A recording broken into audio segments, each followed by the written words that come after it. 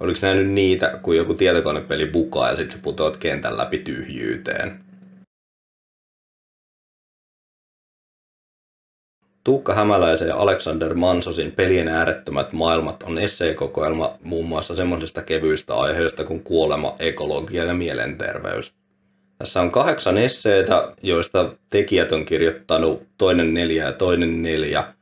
Jokaisessa on pieni johdanto ja sitten kulloistakin aihetta käsitellään syvemmin kahden eri pelin kautta.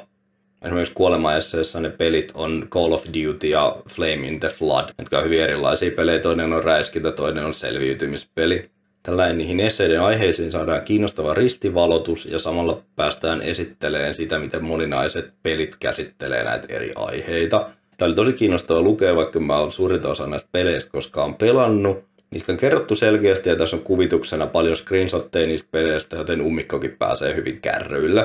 Tämä oli tosi kiinnostava ja tämä viimeistään pitäisi tehdä selväksi, että pelit on taidetta ja mitä ikinä yhtä varten otettava media siinä kuin vaikka joku leffat tai kirjat tai muuta.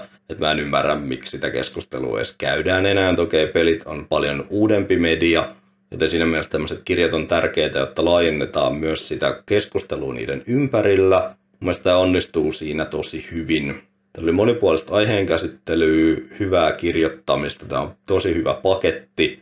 Ja siinä mielessä tämä oli mun tosi hieno kirja, että tämä sit kannustaa myös etsiä niitä pelejä ja pelaamaan. Koska se on myös osa sitä, että kun pyritään laajentamaan sitä keskustelua ja kulttuuria pelien ympärillä, niin sitten täytyy myös työntää ihmisiä niitä pelejä kohti. Et en keksi, että miten tämä kirja olisi voinut olla niin kuin parempi enää siinä, mitä se yritti.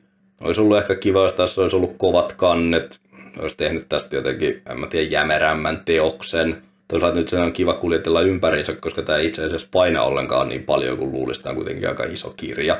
Et se, mikä tässä on vähän negatiivista, on se, että totta kai näistä esseistä saa enemmän irti, jos sä oot pelannut niitä pelejä. Vaikka niitä pelejä avataankin tosi hyvin tässä, niin tietty se on eri asia lukea paperilta, että sä oot itse asiassa pelannut. Missä tapauksessa ei ole vaatimus, ja vaikka ei olisi ikinä mitään pelannutkaan, niin kannattaa tarttua tähän sopii akateemisempaakin pöytäkeskusteluun ja on tosi hienoa, että tämmöisiä tulee nimenomaan suomeksi. Luulisin, että tällä olisi jonkunnäköiset potentiaalit tulla käännetyksikin monelle kielelle. Toivottavasti opettajat löytää tämän, koska mä uskon, että tämän kautta voisi saada monen nuoren kiinnostua keskustelemaan näistä aiheista jossain filosofian tunnilta tai missä ikinä. Tämä on myös tosi hyvä lahjakirja nyt, kun syksy lähestyy ja joulu tulee. Ehdottomasti suosittelen, kannattaa lukea, vaikka ei olisi ikinä mitään pelannutkaan. Tämmöisiä kirjoja tulee tosi harvoin.